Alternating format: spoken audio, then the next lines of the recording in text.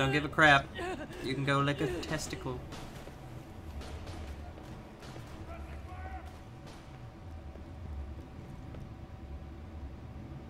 What? Did I just witness?